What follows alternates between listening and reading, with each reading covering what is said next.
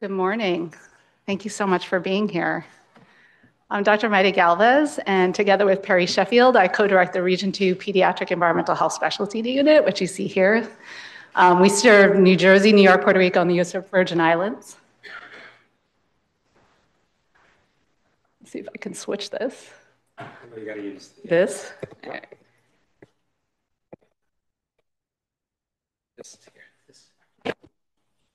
Thank you.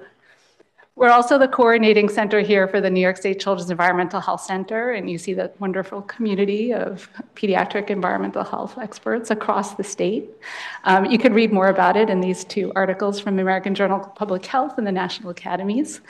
Um, these are go-to resources for you all when you have questions about environmental concerns from your families. We're thrilled to be celebrating Children's Environmental Health Day today.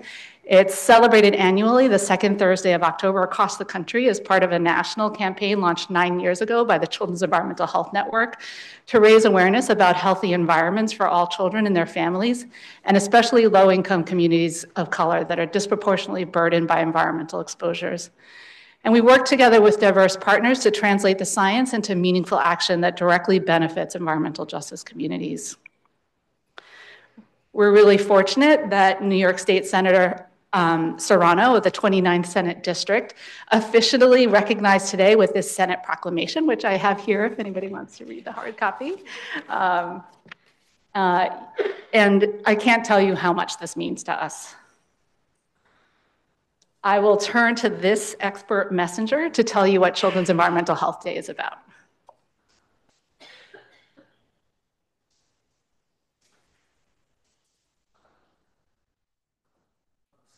I can hit the play button. It's not hitting play. Sorry, I'm so technologically challenged today. Three, the aim of Children's Environmental Health Day is to raise awareness about the importance of clean air and water safe food and consumer products, and healthy environments to children's health and development. Three. Ah, now I can hit the play button. environmental it's worth listening to twice. awareness about the importance Thanks. Oh, okay, we lost the slideshow. Anyway, what were you going to say?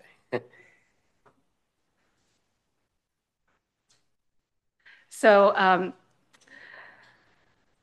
we can't thank you enough for being here.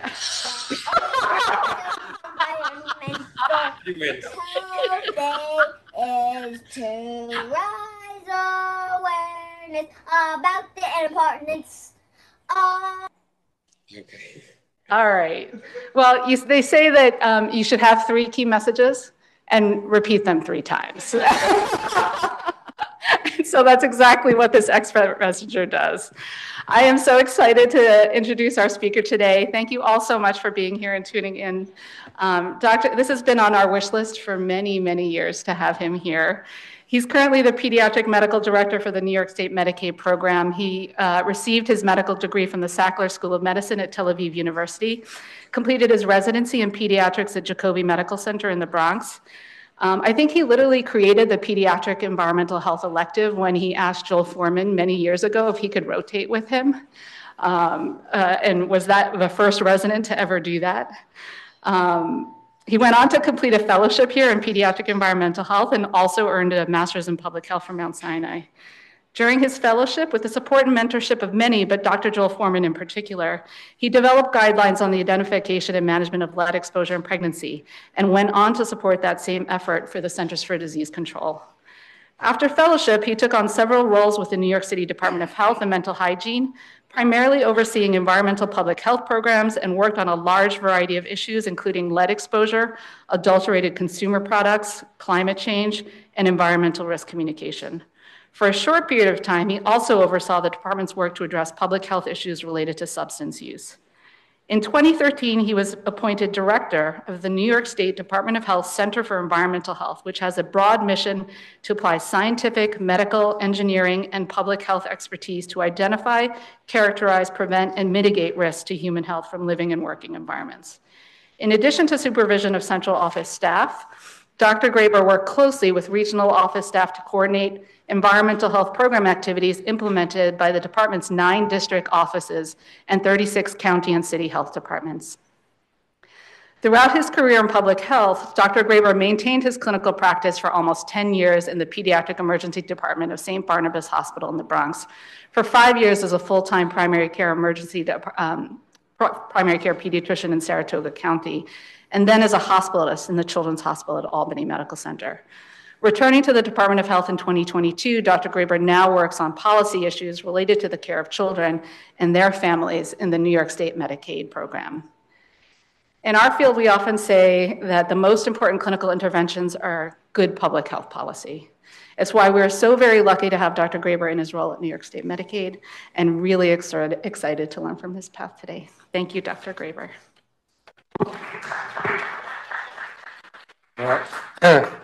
Thank you, Dr. Galvez. Um, she forgot to mention that we had shared an office together for two years during fellowship, uh, and she was my chief resident in, in, uh, in residency. So um, I want to thank you for inviting me here. I am not only excited to come back to Mount Sinai and be back in the same room, and you forgot, I did give grand, I did give a presentation. I don't know if it was Grand Rounds, uh, probably about I don't know 11 years ago, uh, and I, you, I pulled up that slideshow to make sure I wouldn't use the same slides again so that you wouldn't get bored.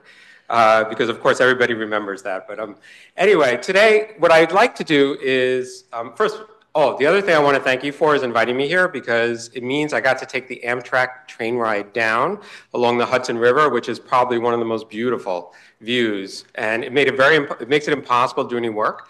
Um, but not only were the, the fall foliage, but I always see bald eagles.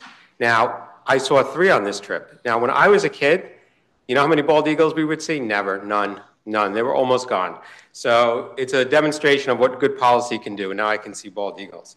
So um, I, I want to talk today about a framework for considering policy. I'm a conceptual person. I don't like to get down into the weeds on process. I like to think about what it is that's going to guide me through my thinking as I consider each decision and each um, uh, aspect of implementation of new programs. So first of all, financial disclosure, I have nothing to declare. I also have no money because I have two kids in college and tuition is quite expensive. Uh, and I want to start here because uh, when we, we think about ourselves as um, policy people, are we really policy people or are we pediatricians? And I've, I've taken a lot of time in my career to contemplate, you know, who I really am. I would say that when I first started, if you go back even 10 years ago, not even the 20 years ago or the 24 years ago when I graduated medical school, um, I, I couldn't think of myself as what am I? I want to be everything right? I want to be everything. I want to do this, I want to do that, and nothing, there was nothing that I didn't want to try to do. I wanted to be an epidemiologist. I wanted to be, you know, the parks commissioner. I wanted to be the, the, uh, the, um, you know, the, the making all the decisions in public health. And, uh, and, and reality is, is that um, I'm really, the more I think about it, I'm a pediatrician. That's, that's the viewpoint, that's my perspective, that's where my foundation is. And I have here a picture of Abraham Jacobi.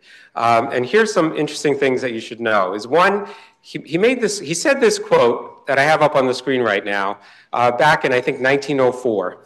Um, he was uh, uh, the uh, consider, he's considered the father of American uh, pediatrics. Uh, he was a professor of childhood diseases at New York Co- Medical College um, from 1861 or from 1867 to 1870. He was medical department. He was chair of the medical department at the University of the City of New York. He taught at Columbia University for 30 years. Um, and guess what else he did? He also founded the um, the first Pedi- Department of Pediatrics at a general hospital. Does anybody know where that was? It's Mount Sinai. So, so the founder of, you know, he's also, he founded this department. So I'm quite honored to be here. Um, he was really a key figure in the movement to improve child health care and welfare in the United States. Uh, and, oops, one other thing just to say from his quote is that he's not just talking about healthcare. He's thinking about he's thinking about the bigger bigger picture, uh, which is you know it's that it's not just that you're at the bedside, right? So you're not just a clinical physician, but you also work on school boards, right? That's also an environment that's important to kids and health departments and legislatures um, and advisors to judges and jury. And I'll get into all this because all this really makes a lot of sense when you start to understand the environment in which we make policy. So, um, despite the fact that I did my residency in a hospital named after Dr. Jacobi, uh, my disposition uh, to do more than tasks and the medical school and residence, uh, and um, just so you know, this is this slide. There's no animation here, right? This is really everything I learned about public health and population health and medical school and residency. Um, you could take this slide and also say this is everything I learned about coding and billing. Uh, and um, this is really, you know, in spite of in spite of all this, but you know, this may have changed over time. I, I assume there's a lot more in education now to try to think about the bigger picture. But we were really focused on the, um, the care of our, our patients. So I was taught mostly clinical medicine, maybe some things about research, maybe some things about understanding and interpreting research, but for the benefit of my individual patients. Uh, but however, I just want to take this one other step and say maybe I was really taught everything I needed to know about public health and population health. So during my pediatrics rotation in the third year of medical school, um, a professor sat us down and he drew a Venn diagram on um, in those days, we didn't have smart boards, just a piece of big piece of paper, right? I forgot what they call those things, flip boards or what, or what have you. Uh, and his Venn diagram had three circles, and the three circles were, you know, clinical, which is your care of the patients, your interaction, your relationship with the patients, which is at the core of what we do. That is probably the most important thing as a pediatrician. That's the essence of our um, of our profession.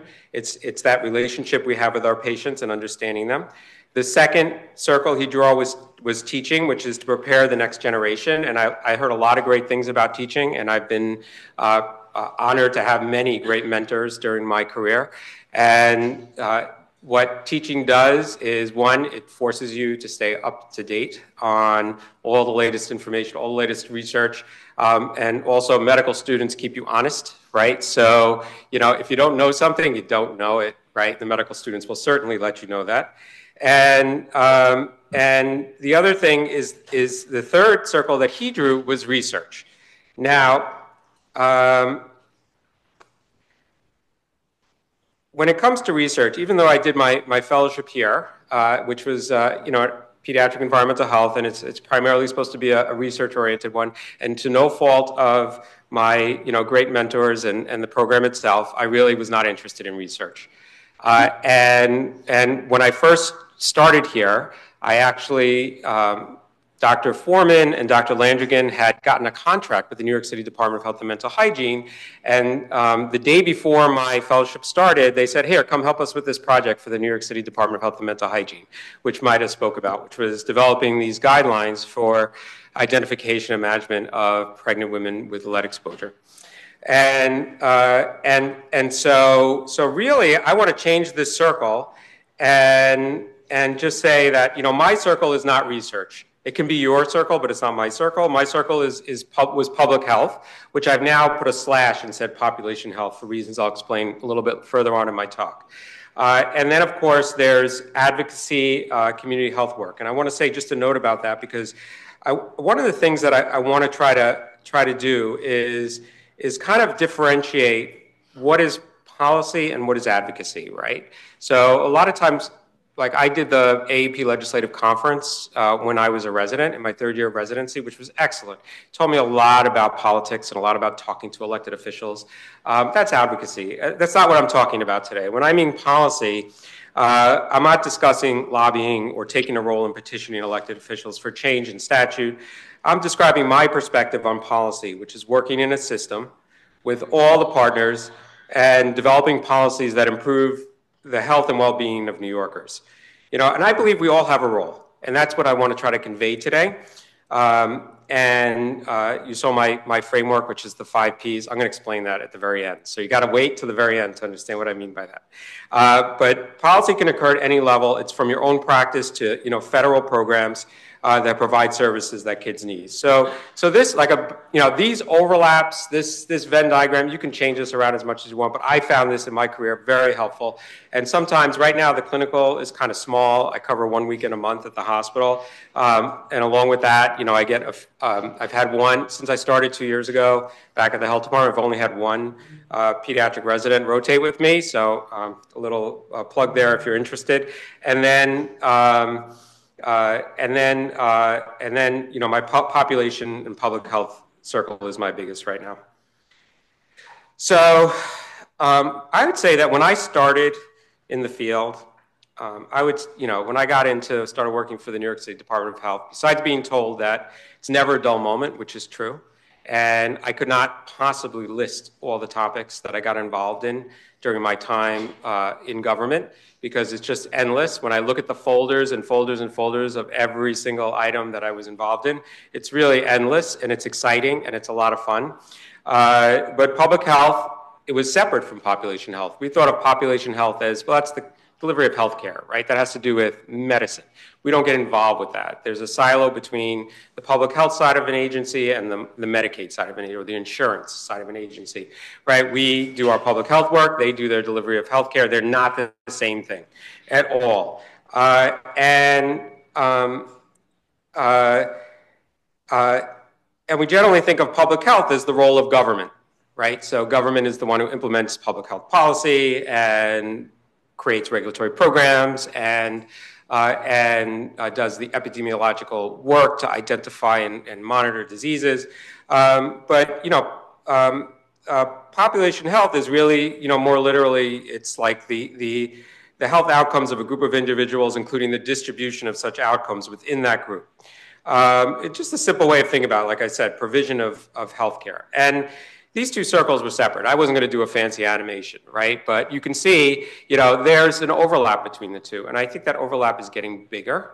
Um, and and and it's actually this is an exciting time to be involved in public policy around children's health because I really feel that population health and public health that these two overlaps are getting greater and greater with time, which gives us a lot of additional ability to work on, on many issues. Um, and when I got to the return to the health department, um, you know, I was talking to my boss, Dr. Douglas Fish, and uh, and and he said to me, you know, uh, Medicaid is public health, and I was like, I don't think so. But then, you know, like as I've been working there, I believe I'm understanding what he was talking about. And this quote was actually from a student. Okay, the student said, a student intern said, well, Medicaid is a critical vehicle for public health innovation. So um, I think that's important to keep in mind, especially as I talk to you about some of the things that we're working on.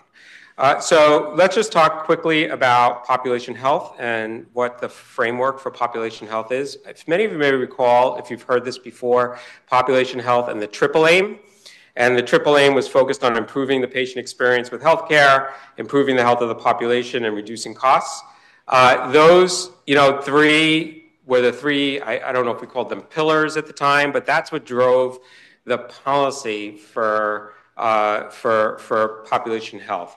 And they thought that improving provider experience or improving patient experience was contra, is counter to the cost saving aspect of it. Uh, and over time, what we've learned is that that is not the case. And physicians, because of that, and providers were getting burned out over time and making the work more and more difficult for them. So this fourth pillar was added, which is improve provider experience with healthcare, which I think is incredibly important for those of us who worked primarily doing clinical work, uh, particularly in the last five years, understand this profoundly. Uh, that you know we can keep working, working, working, but you know if if the the job is not satisfying to us, then then we're just going to get burned out, no matter how much we care about our patients. Uh, and um, and the fourth, the fifth piece, which is it was recently added, I'd say I think around 2022, which is the consideration of health equity. And I'm going to talk about health equity uh, in a little bit more detail. Um, from the public health side, you know, the um, framework that was used was uh, the, uh, the uh, original health, essential public health services. It was published back in 1994, and it, it serves as this framework for carrying out the mission of public health.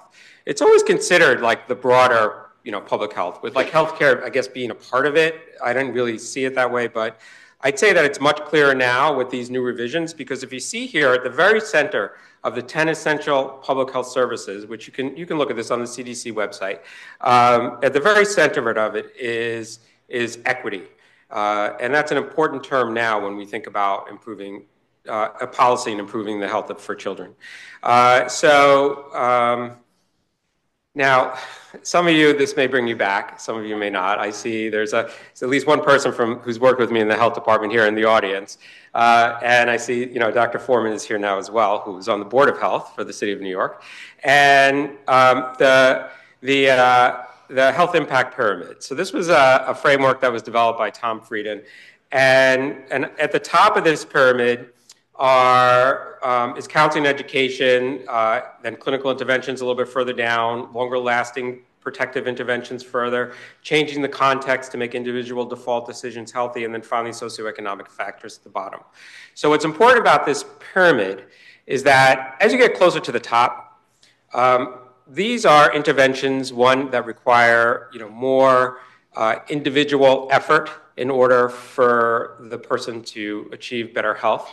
Um, and at the, at the bottom, it's, these are factors that uh, are, um, it becomes less of an individual choice and more of just sort of the default that, that it helps individuals become healthy with le- less effort on their own. Uh, and so as we get to the bottom of this pyramid, we also have a much larger increase uh, in the impact, impact on the population as a whole. Uh, the other thing that you should keep in mind, particularly if you're thinking about policy, is that um, it requires a lot more political capital to change the uh, to have to, to change to work at the bottom of this pyramid than it does at the top. It's really easy to create a brochure. Nobody's going to really argue with you about the brochure. They're going to they might argue with you about what it says exactly and fight over words, and it could take you a whole day to write one sentence. But um, really, it is it is not as difficult as implementing a program that is going to change uh, socioeconomic factors for individuals in our communities. Uh, so the um, just give a couple of examples. So like you know counseling education, I, I, separate out anticipatory guidance from pediatricians from this because it's been shown in studies that it's much more impactful on, on individual behavior than just counseling and education. So it's a different idea, and I think as pediatricians we understand that. Uh, and what anticipatory guidance is, it's very different because it involves a very strong relationship uh, with your patients and your families. And there's a lot of trust involved in that. And it's a lot of, I'm not going to talk about risk communication today, but that is, you know, an important uh, factor in risk communication and that whether your message is accepted by the person you're speaking with. So this is really just about, you know, educational programs to try to change behaviors. Uh, where we go down to clinical interventions, and these are things that, that tend to um, have a longer or bigger impact. So, like for instance, like asthma classification. That was a big change in my practice as a pediatrician from the time I started uh, to to today. I mean, now we're doing smart therapy, right? And this is a, an amazing advance in terms of uh, managing uh, persistent asthma. Uh, and, um, and then another thing, just because it's Children's Environmental Health Day, environmental history taking, okay, that is, a, that is actually considered, that and screening for things like lead, you know, these are clinical interventions that have a longer lasting impact. Uh, and then long lasting protective interventions, okay, the most effective thing that we do as pediatricians, if you can boil it down to one thing in essence, it's immunizations, right? It's vaccines, right? And, and so um, I always put that at the top. And and um, there are other things as well. If we think about it in terms of public health programs, things like inspections and enforcement activities, uh, modifications of, of uh, uh homes, good manufacturing practices for nutritional supplements, uh, and third-party certification, you know, carbon monoxide tech. These aren't completely, you know, like without possibility of things not going right, but they are much more protective. And then you know, this is where we were told. The next one, changing the context. This is where we were told when I worked for the health department 15 years ago. You know that this this is the, this is where we can have an impact. This is changing the context, change the environment, so that an individual's default choice is the healthy choice. So some of the big campaigns when I was with the city health department were around, um, you know, putting you know calorie counts on uh, on menu boards or uh, reducing uh, tra- or eliminating trans fats uh, and uh, trying to get more fruits and vegetables out in the you know, at an affordable way out at the front of where people do their shopping. So changing the context, change um, the healthy communities, healthy neighborhoods type of programs that change the actual structure. Like you look around here in New York City at all the bike lanes and all the tree-lined streets and how much more pleasant it is to take a walk uh, uh, on a street than before. All these things were changed. Uh, these are things that changed the context and made it a person's ability to become to be healthy much easier. What what has changed since we heard that said, "Oh, you can't do anything down here." I remember this. You know, this I used to say this, right? Well, we can't do anything to change people's socioeconomic factors from a public health perspective. Um, well, that's different now. That's changed. I, am gonna I'm gonna talk about that in a little bit, and I think this is an incredible opportunity for us uh, to really make a difference. And the way it's changing is by addressing health equity. So, what is health equity? Uh, well, I mean, I like this. Okay, this is not the official Department of Health uh, graphic on it. I, I swapped it out because I'm a cyclist and I like to bike all the time, wherever I can go. And, um, and equality is giving every single person the same bicycle. Well, it's not going to fit everybody. It's not going to work for everyone. There's not everybody can ride every kind of bicycle. So that's, that's equality. Equity is designing the bicycles so that everybody can ride them right? So designing bicycles that are fit for each individual's. And the, the Department of Health official uh, definition, we do have a statutory definition, which is really, you know, big, uh, which is which is really terrific for New York State. We have a statutory definition of health equity, and from that, the health department derived the following definition: health equity means everyone has a fair and just opportunity to be healthy, where no one is limited in achieving optimal health because of who they are or where they live. So when we think about kids, it's it's you know the places that they live, live, learn, grow, and play.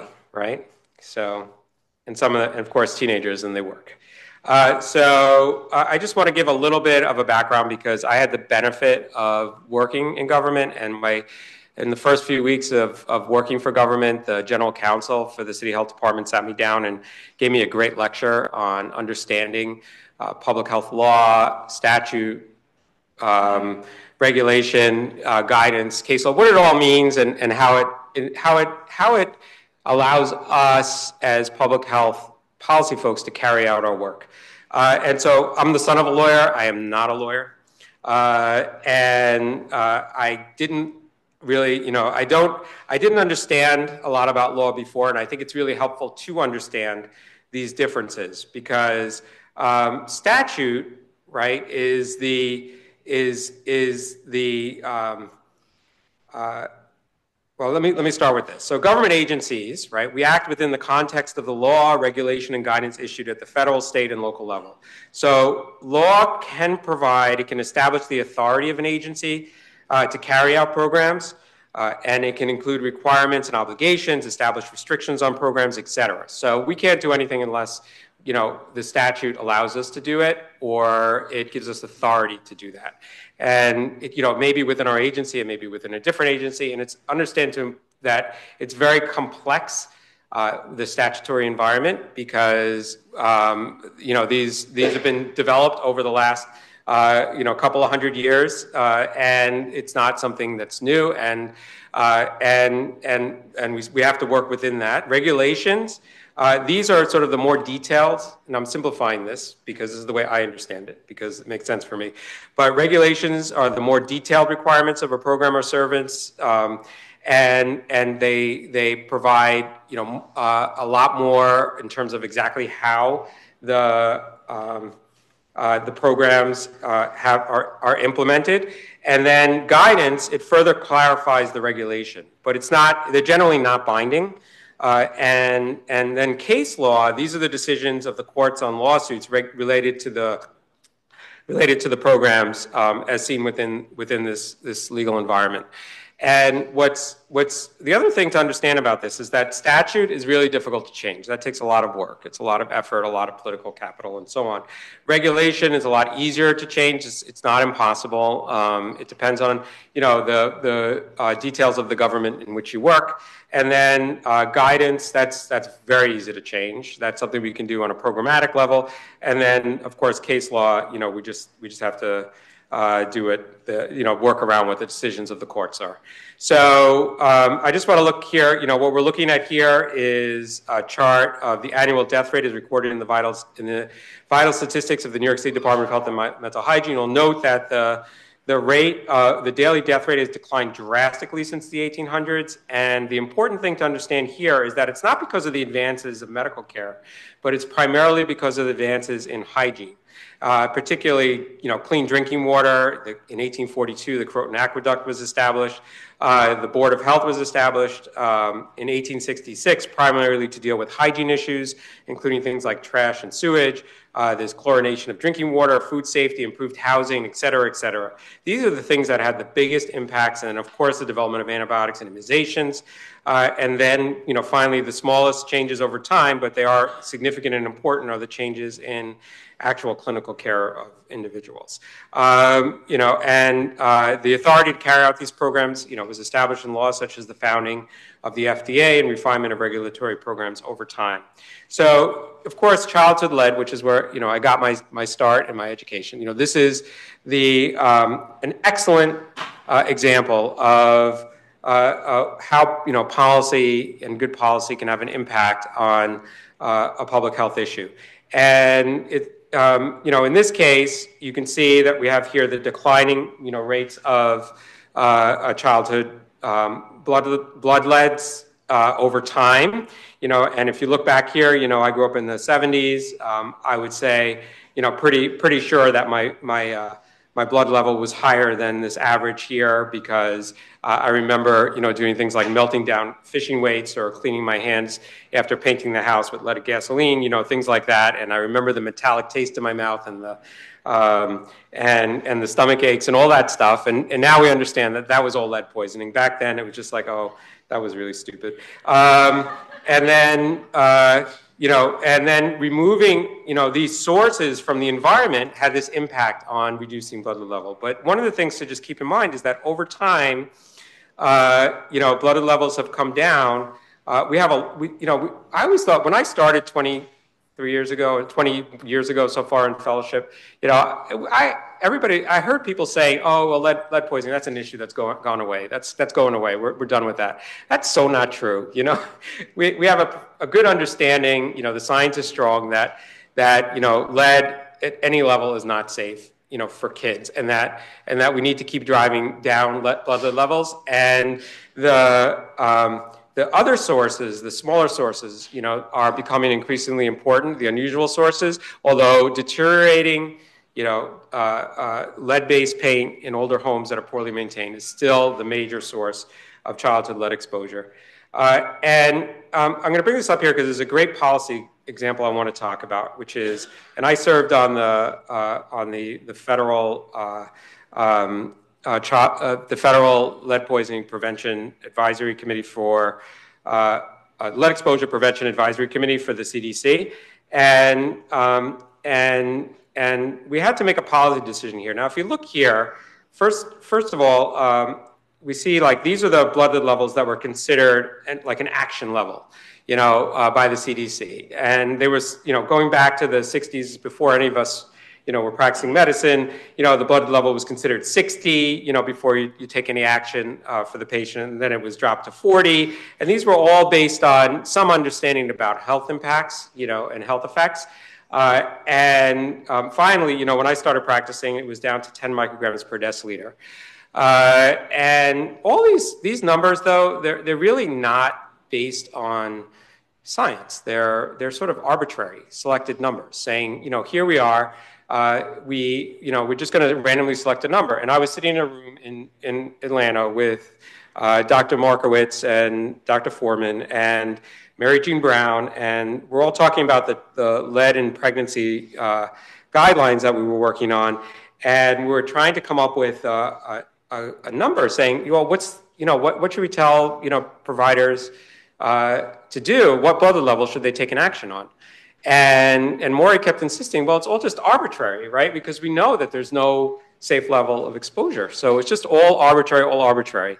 And so instead of thinking about it in this arbitrary way, we think about it the same way we do other lab tests, where we take a reference, we take a, a the, the, um, the distribution of blood levels in a population, and we look for the high tail end of it. We say what's greater than the 97.5th percentile, and that is going to be greater exposure than the rest of the population, and that's called a reference value. So now we don't use uh, a, a, a, blood. We don't we don't use a um, term elevated blood level or an action level anymore. We use something called a blood lead reference value. And we had to make a decision recently on the committee about lowering this BLRV. Well, that, you know, lowering the BLRV, it's strictly based on the blood levels um, in the, from the NHANES, the National Health and Nutrition Examination Survey, for children one to five.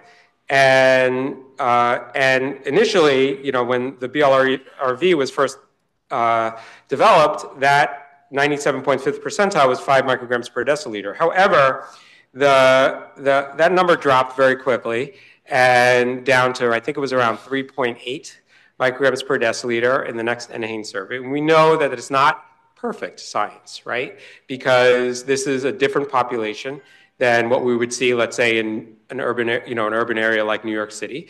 And it's, it's also a, um, uh, uh, skewed because we know that the younger kids, particularly the around 18 months, you know, that lead exposure can, you know, is mac- uh, the lead exposure is maximum because of uh, certain behaviors that they engage in. Uh, and that's like hand to mouth behaviors, putting everything in their mouth, you know, playing around in, uh, on the floor of the house, and that the levels will come down over time. So we know that this is a very conservative, you know, way of looking at it. Uh, uh but in terms of thinking about the greater policy, uh, you know, this is all, the BLRV is not an action level. It's not a single number where above that number you have to suddenly uh, take you know particular action, start doing home inspections or whatever it is. It's really about driving.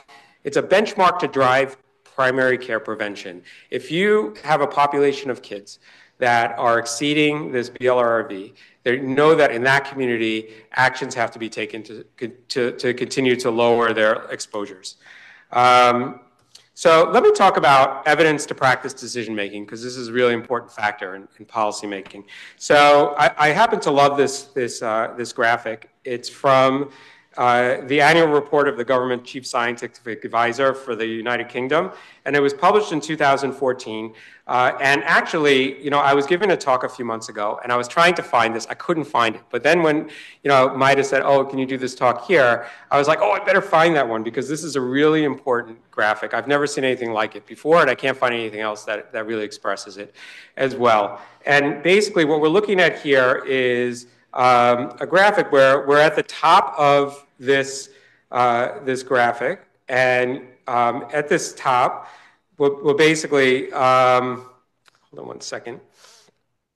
Uh, uh, at the top of the graphic, we are in the you know, environment of kind of sound scientific evidence and practical experience. So it's easy to make a decision, develop regulations, guidance, and standards um, like, for instance, I feel like food safety is this way, right? We know a lot about food safety, uh, and uh, and and we know a lot about you know childhood lead exposures. And there's like there's things we can do to try to lower it, and we have excellent scientific evidence to show that these interventions work. And uh, and so really, it's it's pretty good. So it's just we know it's good practice. It's easy to implement. Uh, we can develop it. There's just well understood risks. But then, as we you know move further down in the diagram, you see that the scientific evidence is less strong. But there's a foundation, right? So we have a scientific foundation on which to base it. We have some experience. However, there's some uncertainty, and it becomes much more prominent. And we have to turn to things like peer review, you know, em- employ judgment, various types of analysis, and some degree of, of, um, of what, you know, the, the, the field of pediatrics thinks is important, right? So there's some degree of sort of our values.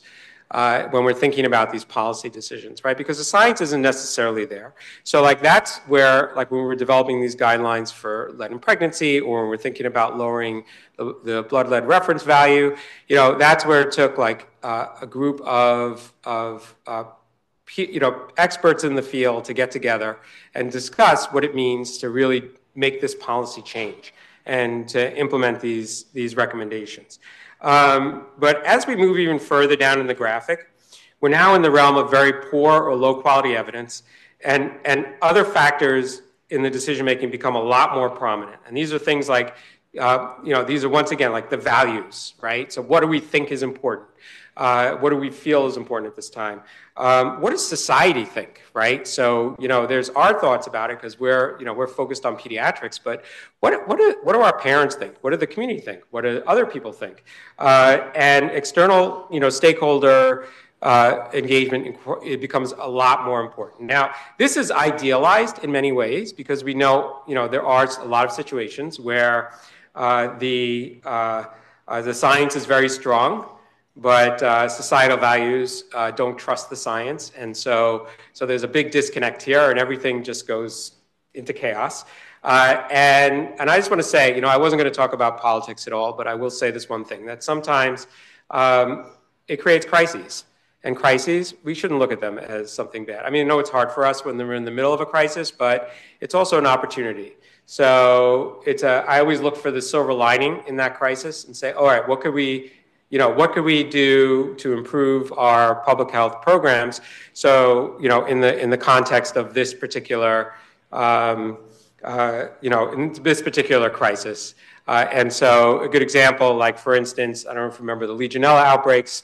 Uh, I forget what year that was, 2016, 2015, um, here in New York City. You know, and uh, there was uh, a rush to try to figure out, you know, what's the source of this, what's the source of this uh, this current outbreak, and it, you know, gave us a true opportunity to really think about. We always wanted to do a regulatory program for for cooling towers because we know that there's a possibility of exposure from Legionella from these cooling towers in air conditioning systems, and we were able to develop that regulatory program, which we think was you know was a great opportunity, and we were able to work with industry to develop that. Uh, so here's another way of looking at it. You know, this is this is uh, a different graphic that I took from, uh, from a different source, but it, it, basically it's the same idea. It's that this decision-making process and policy, you know, takes place in the context of a lot of different factors like population characteristics, needs, values, preferences, uh, resources. Like, you know, we can decide that, you know, every patient needs a particular intervention, but if there's only one doctor in the whole country who knows how to do it, we obviously can't uh, provide that. Um, and, uh, and, and what's the best available research evidence? And then, of course, you know, sort of the, the societal values, that environment, environmental context, all around everything that encompasses everything. Um, okay, so I want to quickly talk about something that I've been involved in since I coming back to the to the health department, and this is our evidence-based benefits review advisory committee. Uh, this is, is established in, in law, and it was reconvened um, this year after a five-year hiatus. And uh, this, you know, the purpose of this is to is to, to uh, consider matters, you know, that regard what we call a material change in the Medicaid program. So these are benefits that are, you know, very easy for us to make decisions around internally. So if you remember our policy decision framework that I showed you earlier, uh, these are things where um, it's not very clear, you know, all these other factors outside of just the science. It's not very clear to us whether or not we should offer a particular benefit within the program. And, and so this, this was uh, uh reestablished. We have one Mount Sinai doctor, Dr. Joe Trulio, and we have um, uh, one pediatrician, Dr. Warren Siegel. I think some of you know him, uh, and he uh, is on the committee. And um, for instance, we had our first meeting, and in our first meeting, and I, uh, the we considered whether or not to. Um, we had the committee consider whether or not the Medicaid program should pursue coverage for uh, what's called collagen cross-linking for a condition of the eye called keratoconus a condition I'd never heard of until I was in uh, pediatric practice and one of my patients got it, uh, uh, was diagnosed with it.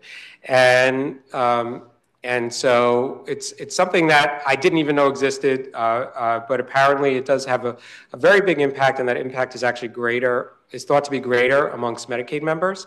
And it has to do with the integrity of the cornea. It becomes kind of lax and then forms like a cone shape. Uh, which uh, can disrupt visual acuity. Uh, that's not easily correctable by glasses or normal contact lenses. And that um, it, if it starts early and progresses quickly, the outcome is a lot worse. And so it's particularly an issue for adolescents. Uh, however, the scientific evidence for this collagen cross-linking procedure was quite poor. Um, and, uh, and, and in spite of that, the committee considered all of these other factors and made the recommendation that we should pursue coverage for keratoconus.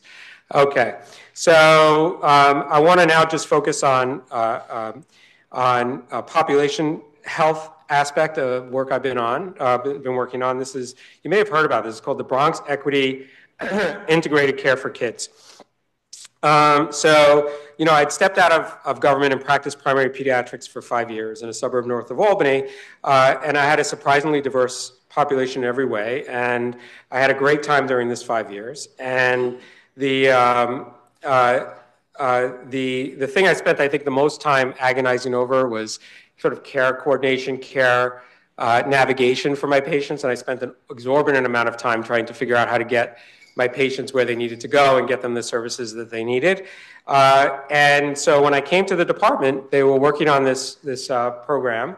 And this program uh, is really, you know, focused uh, on, on that care coordination um, for, for kids. And I'm going to talk a little bit about it because I think it's, it's really a great uh, example. So it's a cooperative agreement with the Centers for Medicaid and, and Medicare Innovation, and it, the model itself is, is uh, to create a child-centered local service and state payment model to reduce expenditures, improve quality of care through prevention, early identification, and treatment of priority behavioral health challenges and physical needs. So um, overall, you know, the idea of the InCK model is to create a robust care navigation, care coordination system that fills in the gaps and connects families to the services they need, um, which is either healthcare, behavioral, developmental healthcare, social care, as well as social care needs.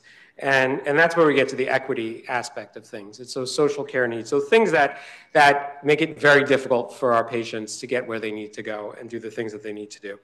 Um, and as part of the model, you know, there's an consideration of alter, al, alternate payment models, uh, something that is very difficult to conceive of in pediatrics because in general, when we think about pediatrics, uh, providing better care to kid me, kids means that they're getting better access to services. So maybe it doesn't save us money. Maybe it's cost us a little bit more up front so that we have um, savings in the long run uh, and not in the, in, the, in the same type of budget cycles that we generally think of. So I want you to take a look at this, this, um, this map right here. I know it's very, very complicated, and there is a typo on it. If you find it, I'll, I'll buy you a cookie. Um, uh, but essentially, this is the systems of care for kids in the Bronx. Okay, and you can see this is social care, it's also health care, it's behavioral health care. It is very, very complicated. How do we, you know, as a pediatrician, navigate all of this? And the idea of the, the InCK model, one aspect of it is to create a partnership council, because when we think about it, relationships at the local level are what's truly key and important in getting kids to the services they need and connecting families to the services they need. And I want you to note something that we call this child and family centered.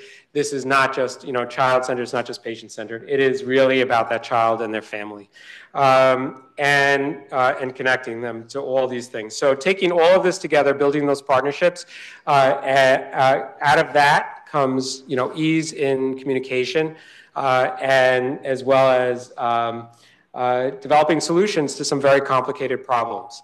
So uh, this is, if you're familiar with the Bronx, um, you know, uh, I know it's not the best map right here. It's kind of small, but if you look here, the Bronx is very interesting because, you know, we think, oh, the Bronx is small. You know, it's only like what, like five miles wide. But you try to get from let's say, you know, the East Bronx, you know, over to, let's say, where, you know, uh, the West Bronx over by Riverdale, um, it could take you an hour.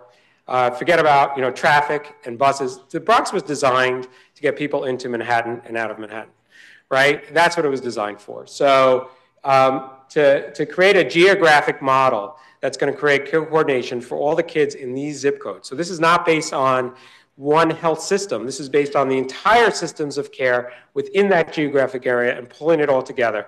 And the key to this has been the data driven approach. It's a da- hybrid data driven approach where we take claims data and clinical data and we use the resources of the, the, uh, the health exchanges in the Bronx to uh, identify those kids who are most likely to have high needs, either social care needs or health care needs and put them into a service integration level category. And then for the ones that are most likely to have the highest needs, have them followed up with a person who can then be their single point of contact for the entire systems of care that can help them navigate it if they don't already have that. So if they're not already in a health home. So uh, just going to talk briefly about the, because I only have a few minutes left, I'm going to talk briefly about uh, the broader Medicaid program. You know, we cover in Medicaid and uh, Child Health, um, uh, uh, the CHIP program, uh, the Child Health Plus program, about two and a half million children in New York State. And, and, and um, we operate our benefits primarily through our Medicaid managed care plans. And uh, we do have a fee for service program, but most of the kids are in one of these Medicaid managed care plans. And, uh, you know, we could do things like we have a number of different levers that we can use, like incentivizing quality of care um, through quality reporting. You know, we're trying, you know, to push more pediatric specific uh, uh, uh, uh alternative payment models or uh, population based payment models, as they're now calling them. And we also can, you know, sort of not follow, we talked about statutes and rules and so on.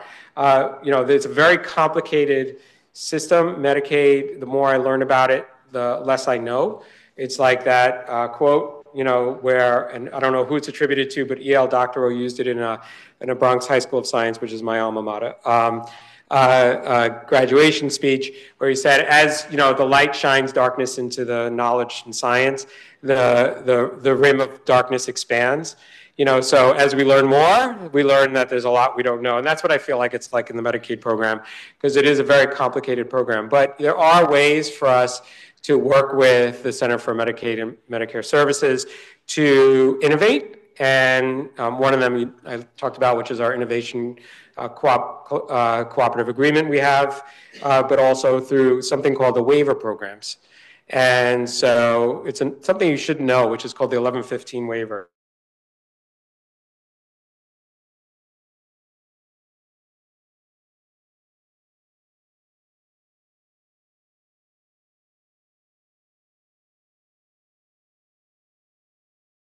Population health and quality and deepen integration across the delivery system. And, and one of the things it does is it, it's really focused on uh, addressing uh, health related social needs or the social drivers of, of, of health. and and um, the, I'm going to focus on one particular piece of this, which is the, the, the social care uh, networks and uh, this health, health related social needs delivery system. And so if you look here, it's going to connect these various ecosystem partners that have critical roles in facilitating access to health related social needs services. Um, and the lead is going to be one of the, the, the, the social care network leads. So I think for New York City, you're probably, because it's, um, you're up here and you probably serve patients in the Bronx as well, you know, it's going to be, um, uh, you know, public health solutions uh, and in the Bronx, uh, Somos Healthcare. Those are the social care lead networks, uh, and um, you know they're going to also act as the fiduciary intermediary to manage the billing and payment for services, which is you know a big challenge, right? So if we want to implement um, social care, addressing social care needs, you know, in a Medicaid program, um, a lot of those services like housing, transportation, you know, they're provided through uh, community-based organizations that don't necessarily have the ability to, you know, bill Medicaid. So how do you pay them? Uh, and this is this is an innovative way to, to find a solution to do that. And I'm sure you're familiar with like the Healthy Homes programs, you know, that carry out a lot of the um, uh, uh, the uh, home remediation services, and and and those you know home remediation services um, you know, can't be billed directly to Medicaid, but you know, through this mechanism, it's very possible that they, they can be if the contracts are set up with these social care networks appropriately. Okay, so so in addition, you know, like we talked about with forming partnerships, right? So it's creating relationships at the local level, right? We all know foundationally the most important thing is creating relationships. And you know, the, the health-related social needs that'll be addressed are things like housing supports, nutrition, transportation, um, and case management uh, for you know populations that meet the eligibility criteria for these enhanced services. And I want to point out here, uh, because we're talking, you know, because we're pediatricians, right? So children who are at risk um, under the age of six, children under the age of 18 with a chronic condition, and juvenile justice involved youth, foster care youth, and those under kinship care. Um, so, so these are kids will be eligible for these enhanced services, um, and they're you know in the homes that they live in. Uh, so, really important. It's important to engage with your social care network lead. I'm going to say that for you know for you as pediatricians, we know that a lot of the, the biggest impacts are going to be uh, on these on these social care needs, and we should be addressing them. So it's important to do that. So I'm going to go through a few things that Medicaid has accomplished in the last couple of years in the last couple of minutes of my talk here uh, uh, to, to enhance pediatrics. Uh, first of all, you know, uh, primary care reimbursement has been benchmarked to 80% of Medicare. Prior to that, it was 70%. Uh, and so it leads, you know, to an increase in, in rates. Um, uh, there's a program called the Patient Centered Medical Home, and we have a specific, it's a, a National Center for Quality Assurance program, but we have a, a, New York State specific program. And through that, it allows for reimbursement um, at enhanced rates for pediatric primary care practices. And really, this is this is kind of like you know we do this really well in pediatrics, and all pediatric practices should, should be part of these patient-centered medical homes. Uh, and um, if, if, you know, be, and especially since it does provide a different way to um, uh, finance the, the, uh, an opportunity to finance the pediatric practices and primary care in a different way so that we can focus more time on taking care, good care of our patients using a team-based approach. Um, a few other things, uh, we expanded coverage for community health worker services to pediatrics in the last year.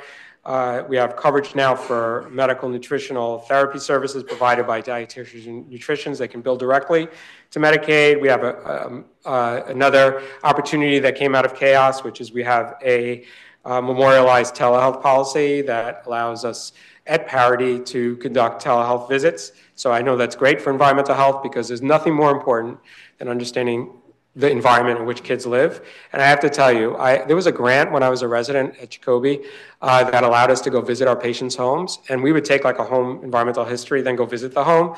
They, they were, it didn't correlate very well at all. I was very surprised at the difference in what I saw, um, and a lot of it was based on my own impressions of of what I thought people lived like in their own homes, uh, and it really opened my eyes to the challenges that our families face.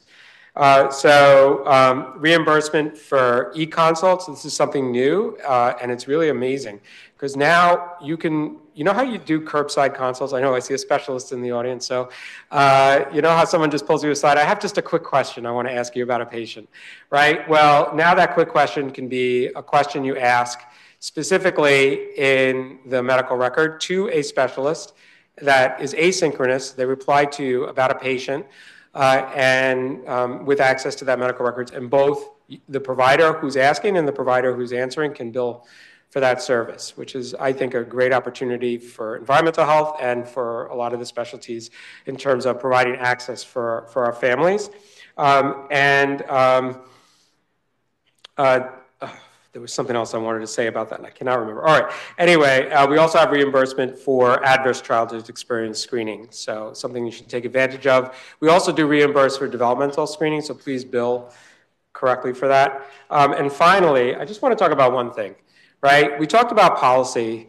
Uh, you know, during this talk, I hope you got some, you know, understanding of what it takes to make a policy change. I don't think it's possible to really show you the world that I spend most of my time in, but you know, when I was a resident, um, the uh, uh, I remember Dr. Caspi, our chairman of the department, saying, you know, oh, why why do kids get bumped off of Medicaid every six months or every year? You know, they just have continuous coverage for all these kids, right? I graduated residency in 2003. Well, we have a formal request from the New York State Medicaid program to the Centers for Medicaid and Medicare Services uh, for continuous coverage for children from the ages of zero to six. We know from our experience that most kids are not bumped off because of a change in their economic status.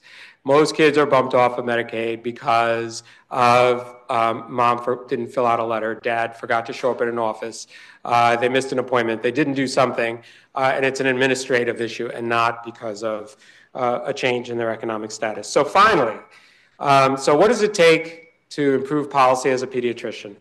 First of all, um, I want to just give a lesson that, I, that was given to me uh, when Dr. Landrigan sent me off to represent him on a, on a New York State expert panel on trichloroethylene, of which I was not an expert, and vapor intrusion, of which I knew very little, right? He said to me, um, You're the only one in that room who's been up in the middle of the night with a premature newborn or performed a lumbar, a lumbar puncture on a baby. I want to say you're the only person who sat in a room with a mother crying and telling you their stories. You know, you're the only person who sat in the room and, and understands what your patients experience. Um, that makes you very different and changes your perspective. Being a, being a pediatrician and using that as your foundation has an incredible impact on the way you view policy. And so no one else sitting around the table, except for other pediatricians, knows what it means. You know, and when I think about the lesson that I learned, you know, Dr. Hirschhorn, uh, he, I, I, was sitting in a morning uh, rounds uh, uh, when I was here during fellowship, and you know, he said something so profound, and it was so obvious that I should have learned it years before, and I should have understood it, and it stayed with me the whole time. And I teach it to all my students, you know, when I'm on rounds with them in the hospital. That you know, you start with understanding what the problem is. What's the chief complaint? And from that, you build your menu of of differential diagnosis. And then you get a really good history and you rule out a lot of the diagnoses on your list until you finally get to what you think it is then you perform your physical exam and then and then you decide what data and other information you need in order to help manage your patient and that's exactly the same way public health and population health are it's the same exact approach and so as a pediatrician you can do it so um, so the finally uh, you know keep in mind right first be a pediatrician participate in surveillance. If something's reportable, report it to your health department. There's a really important reason for that. And um, code when you're doing your billing. Please code for other things that you don't may not get reimbursed for, but it's really helpful for us for us to have in the Medicaid data. Participate in expert panels when asked to do so. You're the only one. You have a unique viewpoint. You're going to provide, you know, because of there's more than just science that goes into these decisions. You don't have to be the expert. You just have to be the pediatrician and uh, conduct program evaluation. You know, that helps us a lot in understanding whether what we're doing and implementing is actually, you know, efficient, accessible, it's safe. Provide feedback on implementation for program improvement. And also be aware that there are careers outside of clinical medicine. So finally, I want to say this about the five Ps. Okay, I want to explain to you what I meant.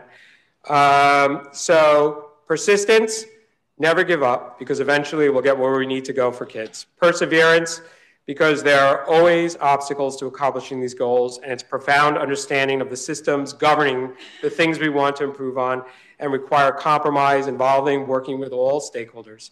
Persevere, perseveration, repeat them over and over and over again because others might lose sight of where we need to go. Patience, these changes, the bigger the system, the longer it takes. And be patient. I'm okay with working on a five year timeline, an eight year timeline, a 10 year timeline, because these programs are big, they're complicated. And because of that last thing, which is perspiration, is I get really nervous because sometimes you jigger the system in one way and you make it worse in another, right? So you got to be really careful about how you proceed along the way. And that's okay because that makes up for better programs. And with that, I will end my presentation. Thank you very much for joining me.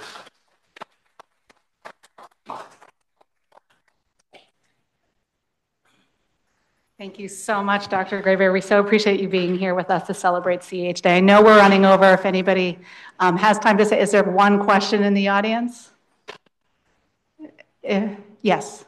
So just uh, thinking about the pyramid and the absolute bottom, what are your thoughts on some of the economic interventions? So there's been so much about childhood tax credit and thinking about unconditional cash transfer on a state level or on a New York level? Are there programs coming down the pipeline that are really dealing with that economic stability bottom? So, so when, I mean, when I think about the socioeconomic factors, I'm thinking about those, those like social determinants or social drivers of health, right? So, so it's not all just about giving money. There is, you know, cash assistance programs, and there is in Medicare and Medicaid ways to um, provide some funding for families. You know, with the housing, which is particularly challenging in New York City, you know, during in the 1115 waiver, there is going to be funding to support housing. Uh, on, you know, that funding will, you know, help people transition into better housing situations or stable housing. Uh, and uh, there are, um, uh, uh, you know, ways to support families through nutrition and ensuring better transportation and improving the homes they live in. And, and those things will have, you know, a socioeconomic impact for those families. Uh, in terms of, you know, other things, that's where we're starting. There are a lot of other things out there to try to help people and help families. There are tons of programs and you know, I know in the Being program, uh, there was uh, an attempt to connect families with uh, something called Peach. I don't know if you're familiar with that. Uh, it's something to look at. I'm not all that familiar with it, but uh, there wasn't a lot of uptake, and I'm not entirely sure why. But I think, you know, uh, it'd be good to reach out to the to the folks at Montefiore to talk about that. Uh, so, you know, you always have to test the waters and see which programs are going to work as well.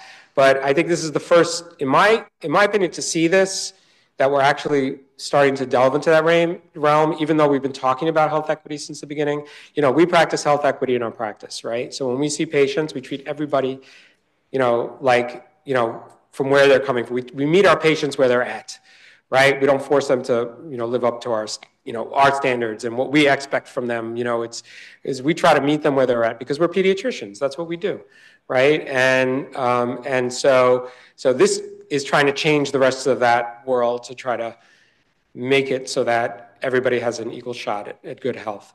So that's what I mean by addressing the socioeconomic factors. Okay. All right, thanks.